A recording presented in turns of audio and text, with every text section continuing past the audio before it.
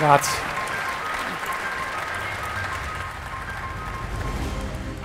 Ringrazio Rosolino per la bellezza, ma è certamente, caro Sindaco, eh, caro Presidente della Regione, caro Graziano, dirigenti delle ferrovie, oggi questa inaugurazione è veramente carica di simboli. Il primo simbolo che a me viene in mente è che con questa inaugurazione in un certo senso noi diamo il messaggio di un paese che rialza la testa, perché un grande paese è orgoglioso delle sue grandi opere. È una cosa talmente banale che noi dobbiamo avere il coraggio di ripeterla ad alta voce. Un grande paese ha bisogno di grandi opere ed è orgoglioso delle sue grandi opere quando nascono e quando poi inaugurarle. Non possiamo essere l'unico tra i grandi paesi che non considera un gesto architettonico, un'opera che ha tutte le utilità di cui si è parlato oggi, di cui hanno parlato le persone che hanno parlato prima di me, come una conquista, come un passo avanti, come una cosa che lascerà il segno, come un'eredità che lasciamo al territorio e alle nostre comunità. Quindi a chi dice che questa è un'opera troppo grande, in questi casi si usa spesso l'aggettivo faraonica, no? come se le opere dei faraoni fossero una cosa, certo sono, sono, costate dal punto di vista sociale, noi per fortuna siamo arrivati a regole sociali diverse da quelle che si usavano alcune migliaia di anni fa, però opere faraoniche significa certamente lasciare il segno di grandi civiltà. E l'Italia deve avere l'orgoglio anche con questi grandi gesti architettonici che sono alcune delle nostre stazioni e non solo delle nostre stazioni, l'orgoglio di lasciare questi segni, di lasciare queste eredità. Sappiamo che non sono mancati i ritardi nel corso del tempo che ha portato alla realizzazione che oggi inauguriamo, ma sappiamo anche che negli ultimi due o tre anni c'è stata una straordinaria accelerazione ho sentito addirittura qualcuno dire che abbiamo fatto troppo presto, ma vi rendete conto, si può dire che si fa troppo presto nel momento in cui si apre una stazione ferroviaria e come ha appena raccordato adesso Graziano, la stazione da domenica è operativa con un numero molto consistente di treni e crescerà, ma troppo, troppo presto cosa? Pensiamo semmai alle difficoltà che abbiamo avuto in passato, alla fatica che chi ci ha lavorato ha fatto per superarle e al miracolo che chi in questi due o tre anni ha accelerato il ritmo ha compiuto. Il miracolo fatto dai responsabili di ferrovie, dagli ingegneri, dal gruppo Astaldi e innanzitutto il miracolo fatto, qui ce n'è una rappresentanza, da voi che ci avete lavorato, dal lavoro italiano, lavoro italiano che si fa onore con delle cose meravigliose in giro per il mondo e deve avere il diritto, questo onore di esercitarlo anche sul territorio nazionale. Non è possibile che i nostri grandi gruppi di infrastrutture, e ve lo assicuro io che da Ministro degli Esteri ho avuto moltissimo a che fare con le realizzazioni che fanno in giro per il mondo, siano capaci di fare delle cose spettacolari in giro per il mondo e abbiano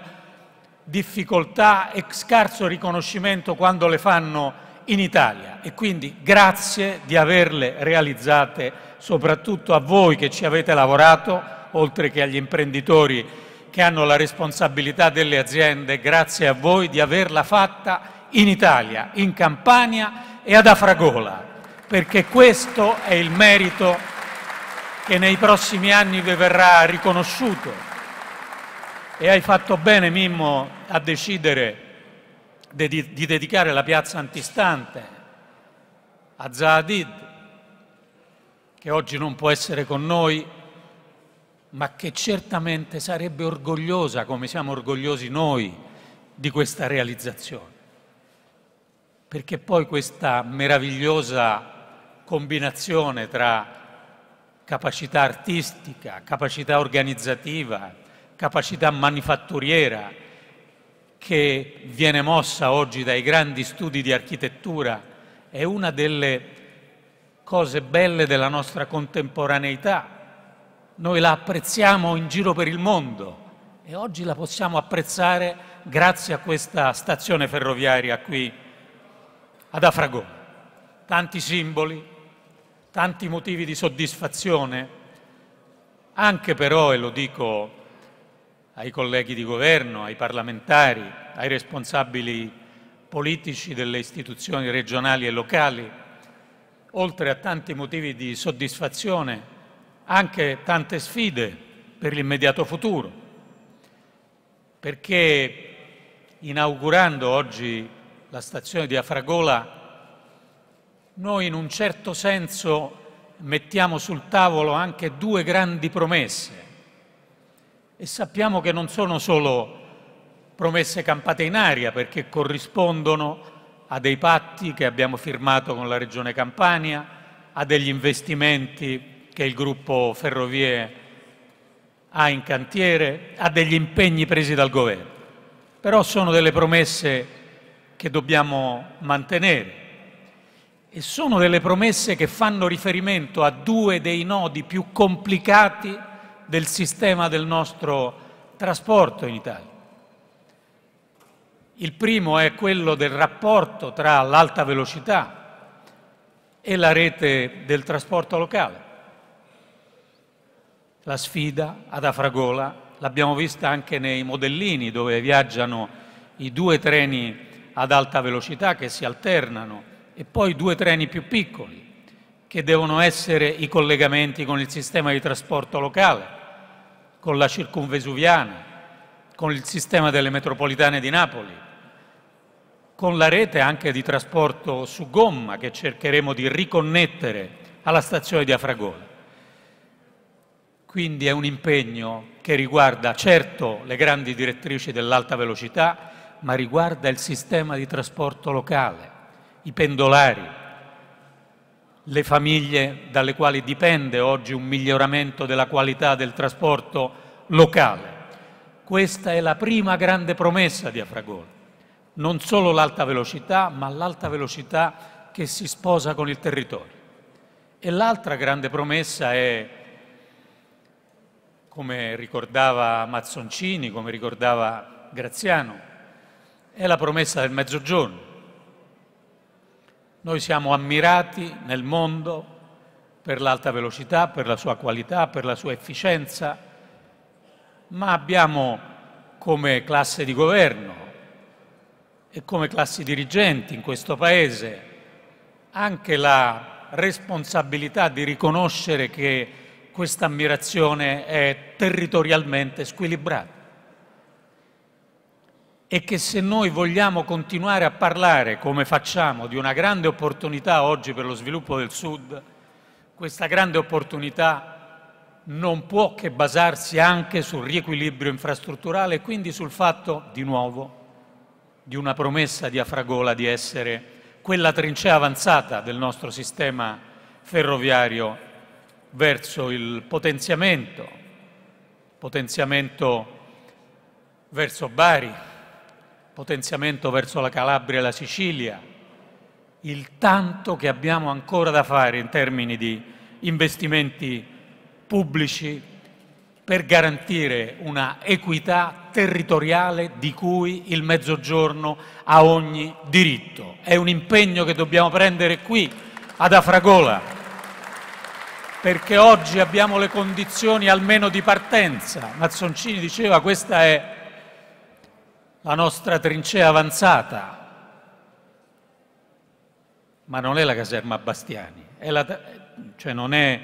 una trincea solitaria, una cattedrale nel deserto, è una trincea avanzata nel senso che è un pezzo di un sistema in movimento. E l'impegno del governo deve essere quello di dare a questo movimento continuità, stabilità e sicurezza. Io non sono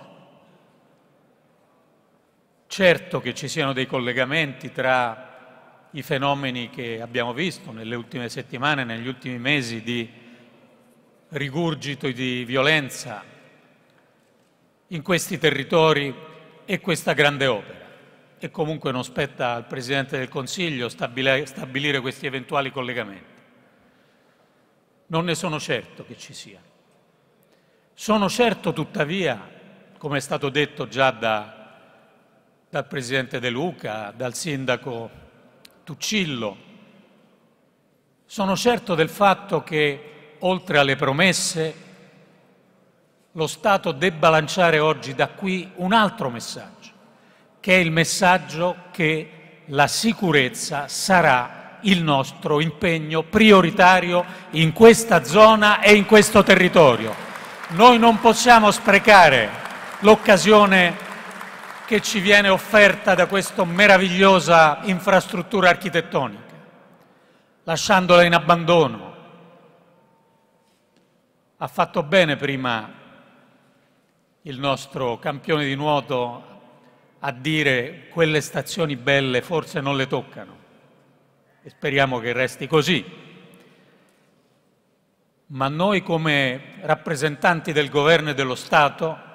qui c'è il prefetto, ci sono i rappresentanti delle diverse forze dell'ordine, dobbiamo dire molto chiaramente che lo Stato qui sarà presente in forze e garantirà la sicurezza di questo territorio. Se arriva sviluppo non è detto che debba arrivare violenza e corruzione, deve succedere esattamente il contrario. Arriva sviluppo, arriva la possibilità di rilancio per questo territorio, non di ritornare indietro a momenti di violenza che noi non vogliamo subire.